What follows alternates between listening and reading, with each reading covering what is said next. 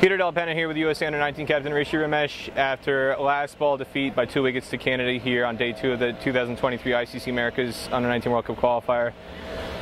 This is one of the best, if not the best, matches I've ever seen between these two teams at this level. I know that probably doesn't mean much to you being on the losing side, but what are your immediate thoughts in the wake of how the match finished? Um, you know, it's part of the game. Sometimes it happens. Some days you win, some days you lose. But I'm proud of my boys. You know, we took it to the last ball.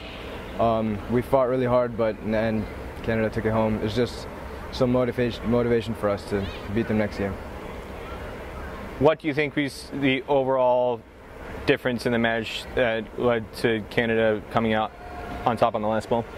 I think there were a few moments where we were a little undisciplined. You know, there are a few pockets in the game where we, you know, were a little loose in the field or gave a few loose balls, and that overall led to Canada getting over our run rate, but I think we still did really well.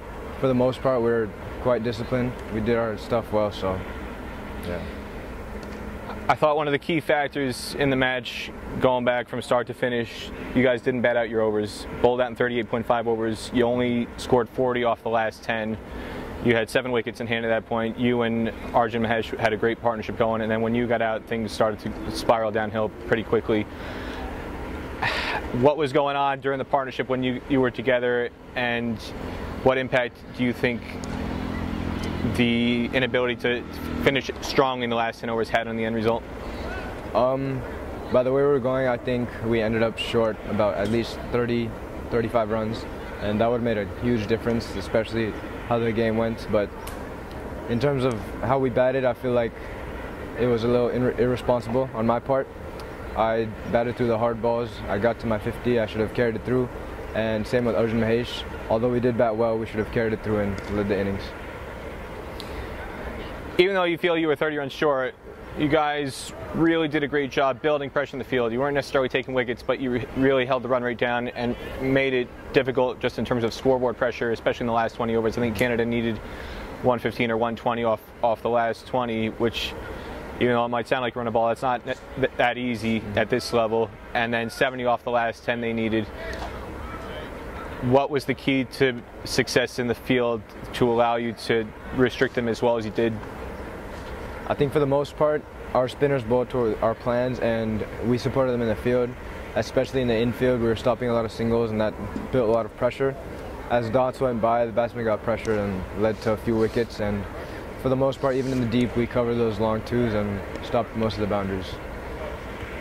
I thought one of the players of the match for Ryu was Utkarsh Shrivastava. His three wicket spell really swung momentum back USA's way, and I thought you guys were going to win once he especially got the captain out, Jay Singh.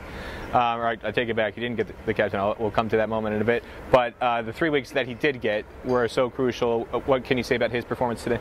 It was excellent. I mean, he performed when he needed to. I brought him in probably the most pressure time of the game, you know, when it was either making or breaking our, our victory, and he, he showed.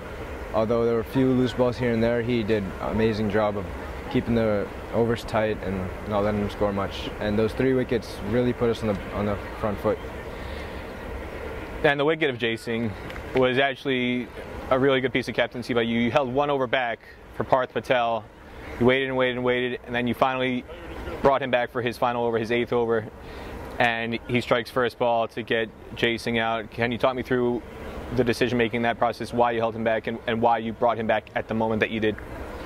It was simply because of the lefty on the other end.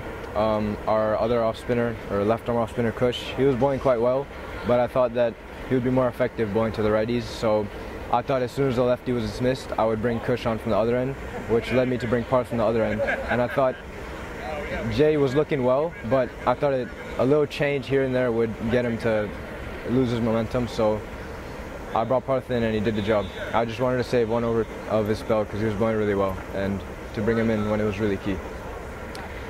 In spite of the loss, what's the biggest positive you take away from today? Our resilience. I mean, we, we really fought to the end and even though we didn't put up the total that we needed to, I'm really, really proud of my guys for fighting all the way to the end. You know, there was, there wasn't a moment in the last few overs where we were we were thinking we were down. We held our nerve to the last ball, and unfortunately, it didn't go our way. But that's just how the game goes. Anything else you want to say about today's match? No, um, we're motivated, so we'll be Comment- ready next game. You say you're motivated, so in spite of the loss, you know you still have a second crack at Canada later on at the end of the tournament. What is the overall mentality now going forward, knowing that you're going to basically have to win out just to force uh, a tie break with Canada through the end of the tournament? I mean, our, our approach is the same. We're looking to win regardless, and of course, a few logistics on the other side, other other games would help us. But as far as Canada, we're just looking to win and come and put our best foot forward and forget what happened today. All right, USA Under 19 captain Rishi Ramesh, thanks again.